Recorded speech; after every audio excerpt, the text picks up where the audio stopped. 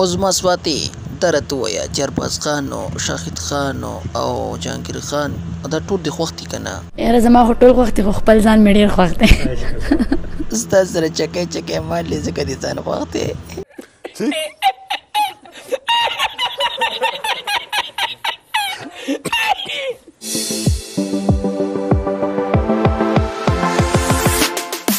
دوستانو نن راسره سټوډیو کې عظماسواتی.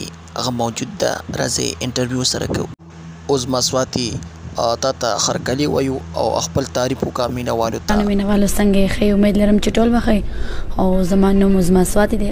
جینۍ دا راته ووایه چی عمر دی څومره دی. عمر چی دی نو اټاره سال دی.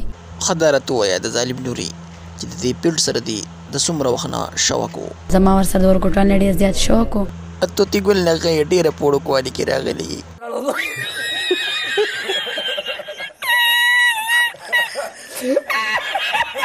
حد پرې دوا درت ویا چې د پیټر تینو سم مشکل ده ته وکنه نه ما ته خو الحمدلله وسه په دې سم مشکلات نه دی راغلي خا صحیح ده صحیح درت ویا چې والد صاحب دې سکار کوي زما والد صاحب په خپل باجه غږی بس زم دی خپل توتی ګل لا باج اخلم چې غږی را تر شپې د ورځي آی د قندان دي زار شم د زړګي سره یو غانه خو راته وایه کنه مری می خراب ده بس خیر دی خیر دی زه به درته غانه وایم پیار کرنے والے کبھی ډرتی نہیں جو ډرتی ہوا